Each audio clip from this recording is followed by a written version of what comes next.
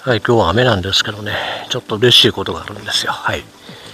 これね、あの、イチジクのダルマティーなんです。で初めてね、これね、収穫できます。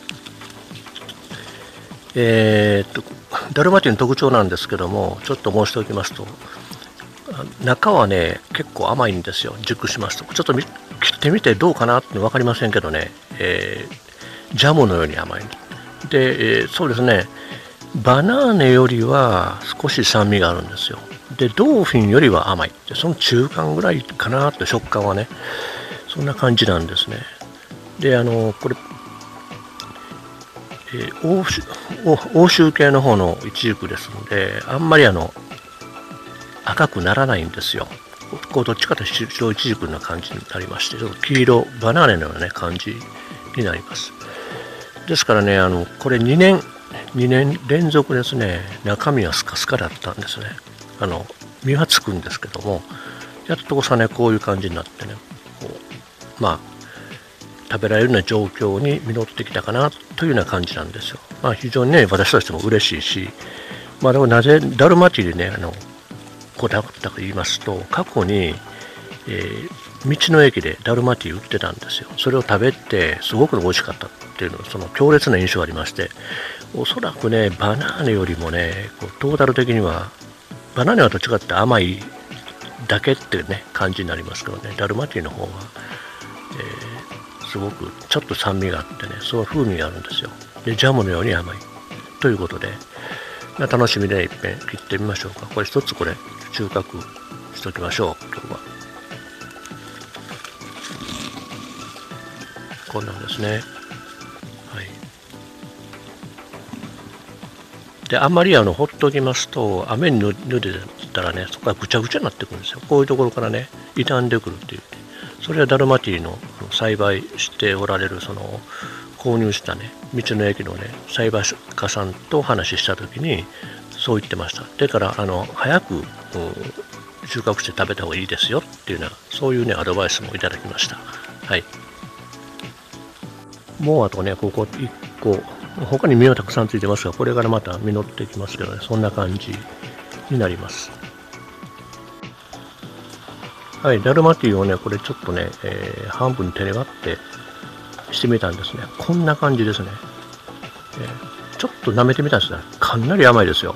えー、これはね、まああの、個人のあの好みですけどね、あの、バナーよりはうまいと思います。あっちは甘いだけってね、感じですけどね、ダルマティはね、すごくね、バランス取れてるんですよ。はい。で、色がね、これやはりあの白いですね。どっちかといえば白いジジクという感じですかね。はい。はい、ちょっと失礼して頂戴しますね。やはりうちですね、うん、あの、ジャムに、ね、甘いんですけどね、えー、ドーフィンと同等かもうちょっとねその味に上品さがあってね結構ね美味しいですはい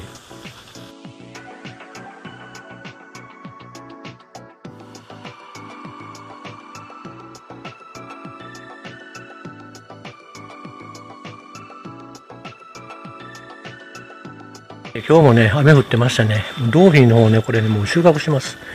これ以上になるともう、かなり傷んでね、きちゃうと思うんで。今年はこんなんですね。去年もタイが多かったですけどね。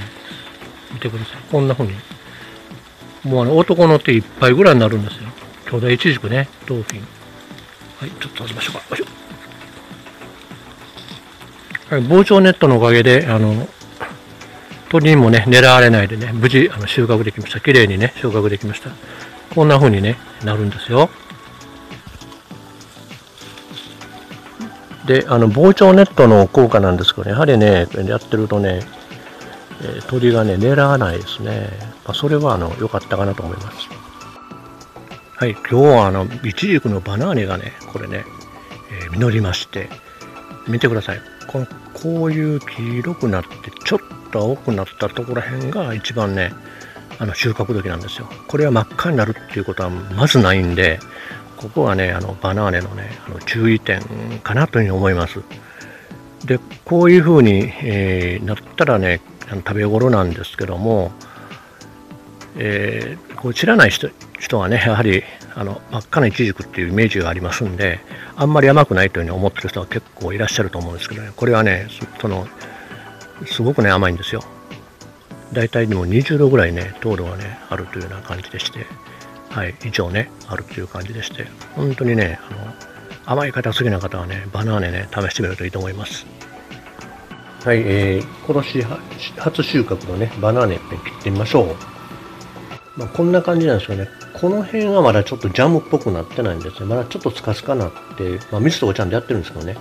えー、これはあの温度がまだまだ低いからって、初なりのやつなんと思うんですね。8月、9月になりましたら、ここがね、ねっとりとしたね、そういう実になるんです。はい。今日は雨上がりのね、朝を迎えまして、えー、バナーネがね、これね、もう一つ収穫できました。あっちの方にも一つね、まだ実ってるんですよ。あっちの方にあるんですかね。あれはまだちょっと熟してないですけど、これがまあこんな風で、まあこういう風に見ますとね、やっぱり商品価値がね、こう美味しそうに見えないんですね。ですからちょっとね、その辺がバナーネの方の、うん、なんて弱点と言いますかね、なんですけどね、実は本当に甘くて、ね、美味しいんですよ。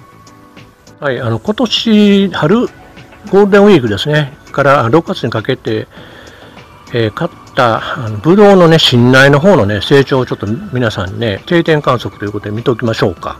はい。まずこれ、目にあります、前にありますのは、これはあの、ブラックオリンピアです。これはね、あんまり大きくなってないですね。まだあの、この背の高さは、ちょっと声かけたぐらいかな、私の。ですから、本来さ、この倍ぐらいね、伸びてほしいなと思うんですけども、それはね、えー、受精はね、少し弱いんかなというような感じですね。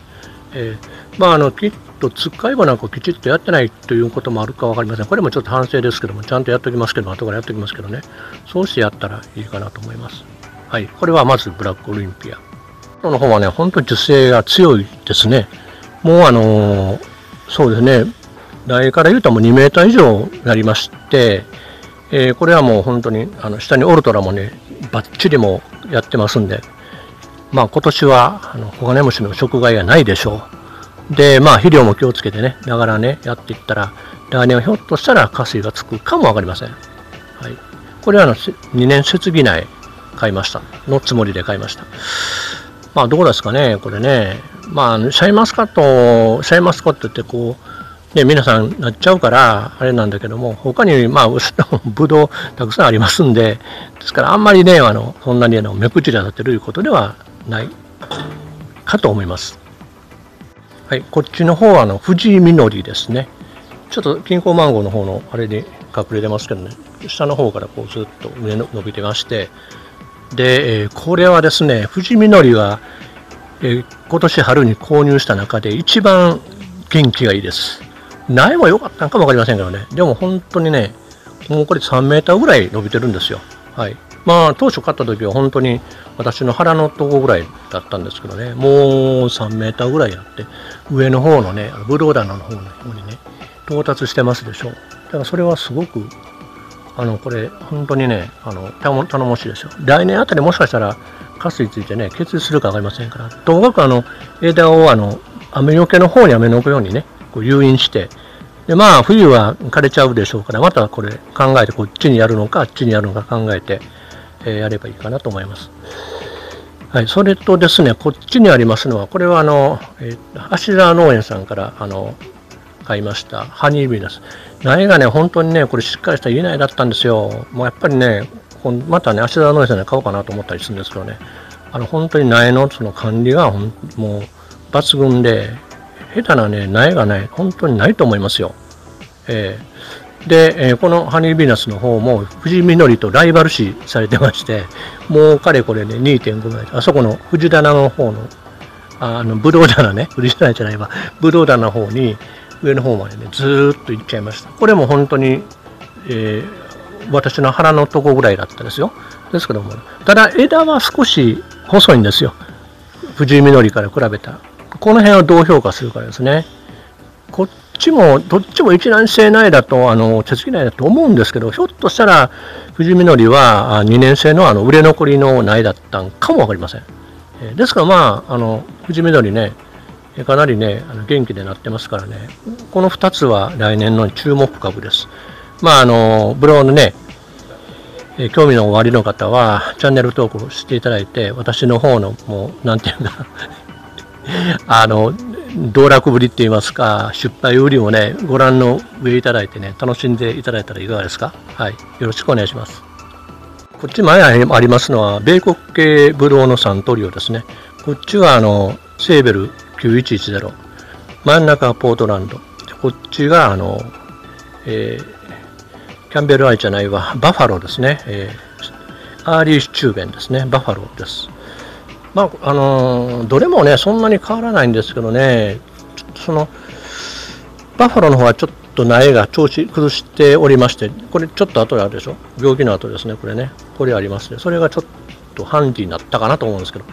ですからもう夏になってきて、えー、肥料を与えて、すくすく育ってくるようになると、このようにね、えー、頑張ってやってます。ポートランドもまあ、こんなもんかなと思います。セーベルもね、かなりね、えー、元気だったんですよ。で、ちょっと勢い衰えましたね。これはもしかしたら国書に弱いのかなというようなあ感想もありますけどね。まあ、この3つも順調に育っているというふうに思います。は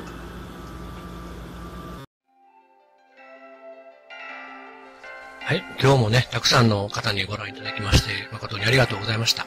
今日はこの辺で失礼いたします。また、皆さんとね、このチャンネルでお会いいたしましょう。まだの方は、ぜひチャンネル登録をお願いいたします。では、ごきげんよう。さようなら。